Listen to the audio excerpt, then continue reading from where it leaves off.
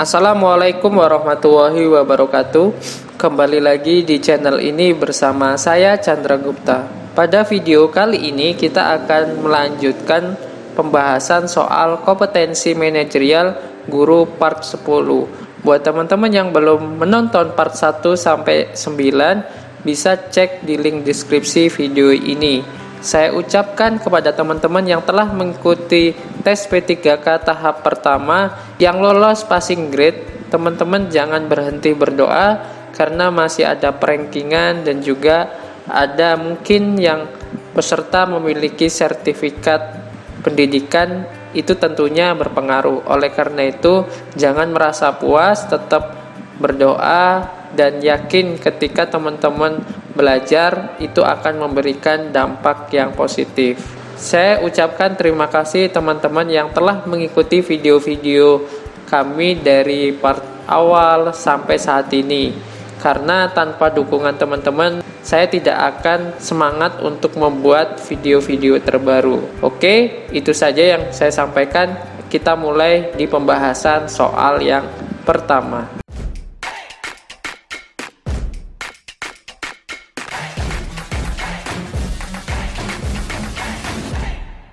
Nomor satu, apakah Anda bersedia untuk memperdebatkan sesuatu padahal kelompok Anda jelas-jelas tidak menyetujuinya?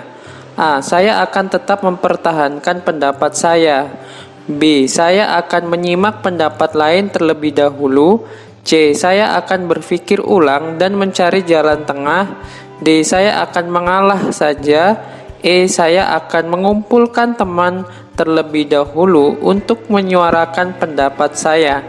Menurut teman-teman, ketika kita mempunyai perbedaan dengan kelompok ya, pendapat kita itu tidak disetujui, bagaimana sikap yang tepat? Apakah kita mempertahankan pendapat atau menyimak pendapat lain terlebih dahulu atau berpikir ulang dan mencari jalan tengah? Nah, triknya untuk menjawab soal ini kita jangan memilih e, pendapat kita pertahankan atau kita mengalah. Ini sangat tidak tepat ya. Sehingga jawaban nomor satu itu adalah yang C. Saya akan berpikir ulang dan mencari jalan tengah. Poin paling tinggi C nom dapat nilai 5, B 4. Atau menyimak pendapat lain itu juga tepat ya. Kita lanjut di soal selanjutnya. Anda sedang mengemudi kendaraan, tiba-tiba handphone Anda berdering. Apa yang akan Anda lakukan? A. Menepi untuk mengangkat handphone. B. Menyuruh rekan yang di samping untuk mengangkatnya. C. Membiarkannya saja sampai ke tempat tujuan. D. Mematikan handphone karena mengganggu konsentrasi saat berkendara. E. Segera mengangkatnya karena membuat Anda tidak fokus berkendara. Menurut teman-teman, ketika kita berkendara tiba-tiba handphone berdering, apa sikap kita? Ya ini mungkin kita sudah tahu ya, agar tidak berbahaya atau tidak terjadi kecelakaan, maka caranya adalah menepi baru mengangkat telepon. Kalau B ini jelas salah ya, karena bisa jadi yang menghubungi itu adalah orang tua ataupun istri, itu sangat tidak tepat ketika rekan kita yang menjawabnya. Sehingga jawaban yang paling tinggi poinnya adalah A, atau yang D mematikan juga tepat ya. Jadi supaya kita fokus dalam berkendara, kita matikan handphone ya. Jadi tujuan kita adalah keselamatan dan ini sudah menjadi aturan dari pemerintah, aturan dari polisi bahwa ketika berkendara kita tidak boleh menggunakan handphone. Kita lanjut di soal nomor 3. Menurut Anda, kemampuan bekerja yang tinggi diperlukan ketika A. Saat dalam keadaan terdesak B. Kapan saja saat kita bertugas. C. Bila situasi dan kondisi memungkinkan. D. Bila diminta oleh atasan. E. Ketika ada imbalan setimpal. Kira-kira menurut teman-teman ketika kita bekerja semaksimal mungkin itu saat kapan? Ya jelas ya ketika kita bekerja itu saat apa pun kita harus mengerjakannya secara maksimal. Hingga jawaban yang paling tepat adalah kapan saja saat kita bertugas. Jadi setiap waktu kita harus all out harus maksimal dalam bekerja. Jangan saat diminta atasan atau saat terdesak, sementara saat tidak terdesak kita santai-santai. Itu juga sikap yang tidak tepat. Sehingga poin yang paling tinggi itu adalah yang B. Ketika Anda diminta saran oleh teman Anda yang sudah berhasil dalam usahanya, Anda akan menyarankan agar A. Meningkatkan kemampuan dan pengetahuan B. Memanfaatkan orang lain yang lebih berpengalaman dan berpengetahuan luas C. Berusaha memperoleh dukungan dari pihak luar D. Bekerja sama dengan orang yang berwawasan luas E. Mengikuti saja suratan nasib. Menurut teman-teman, ketika diminta saran, sementara teman kita ini sudah berhasil dalam usahanya, apa kira-kira saran yang kita berikan?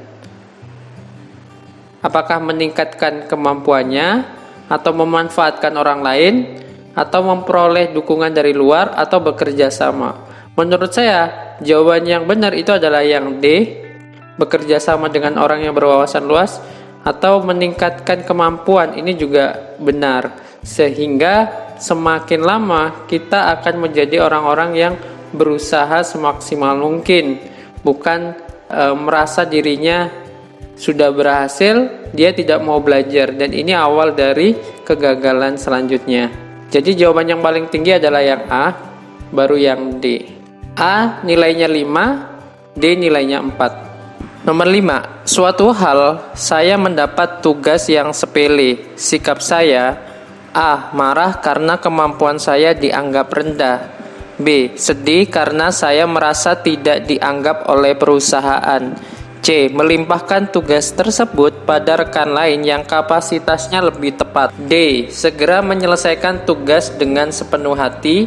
E. Meminta atasan untuk memberikan tugas lain yang sesuai. Mungkin teman-teman udah tahu ya jawabannya ketika kita mendapatkan tugas yang kecil atau sepele, tetap kita kerjakan semaksimal mungkin sehingga jawaban yang tepat adalah yang D. Segera menyelesaikan tugas dengan sepenuh hati. Ya walaupun tugas itu kecil, jangan sampai kita sepelekan ya.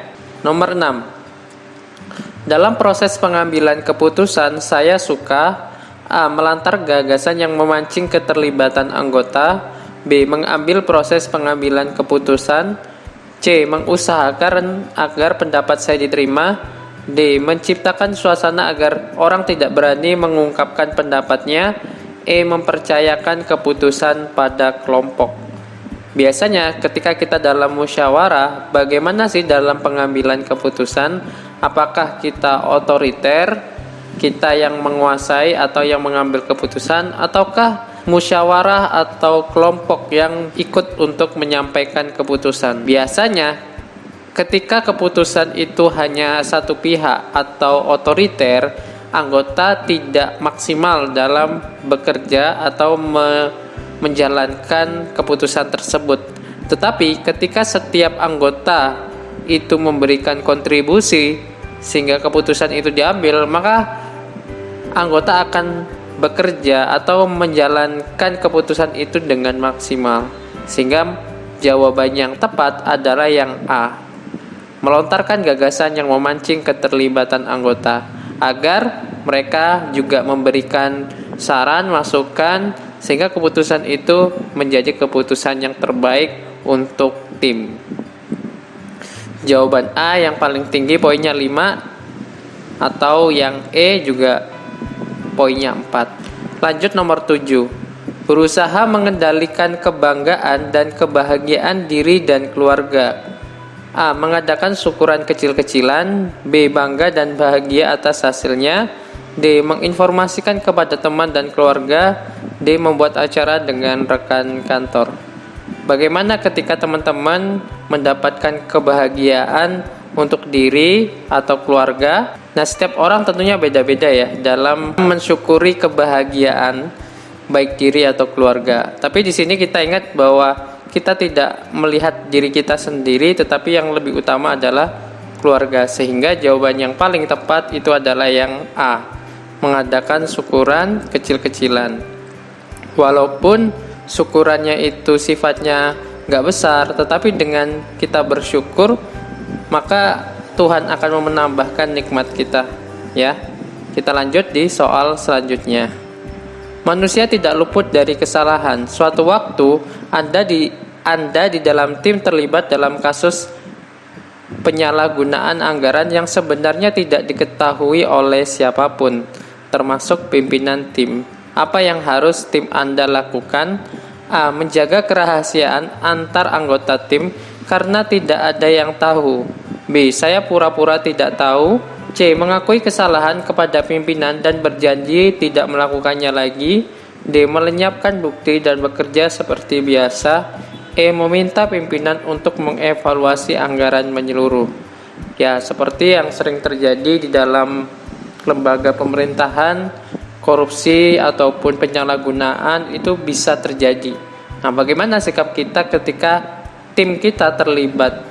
Maka jawaban yang jelas kita harus berintegritas jujur dengan pimpinan kita.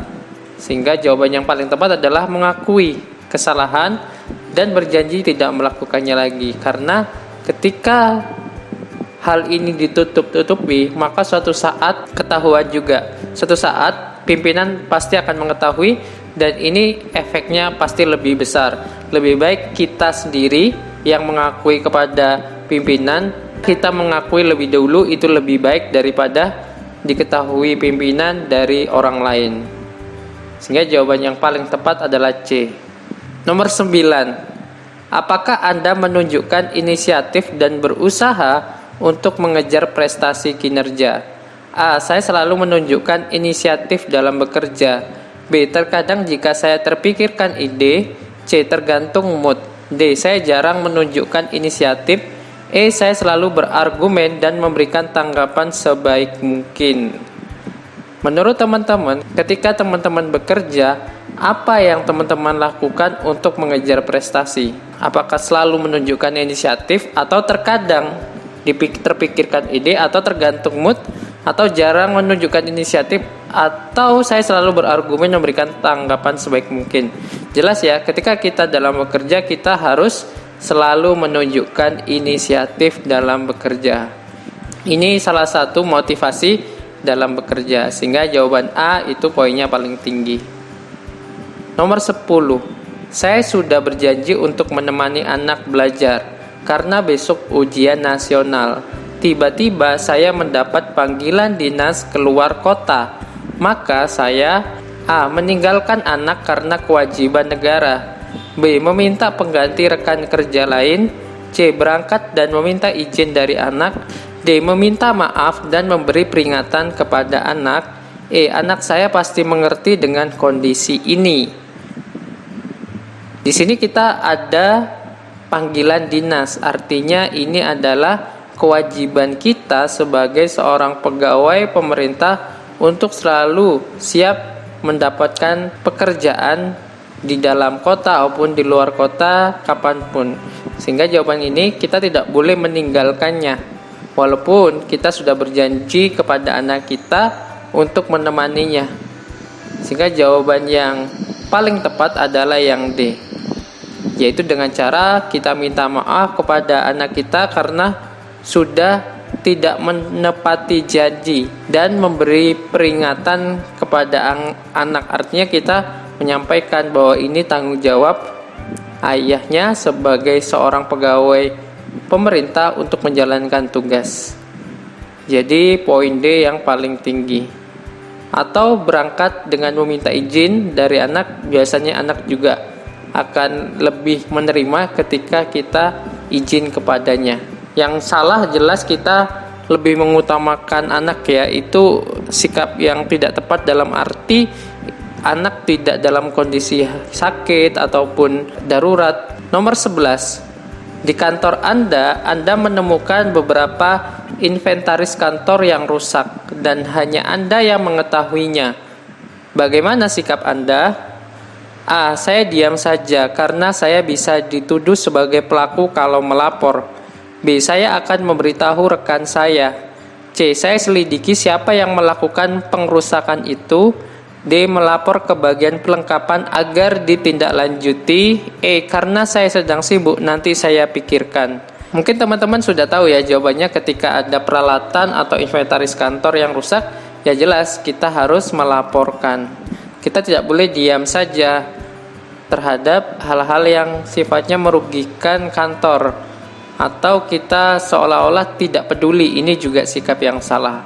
Sehingga uh, jawaban yang paling tinggi poinnya yang D. Nomor 12. Demi kelancaran acara esok hari, divisi saya diminta kerja lembur Padahal saya sudah berjanji untuk mengantar ibu saya ke dokter. Yang seharusnya saya lakukan adalah A. Pulang dan teman-teman tidak mengetahuinya.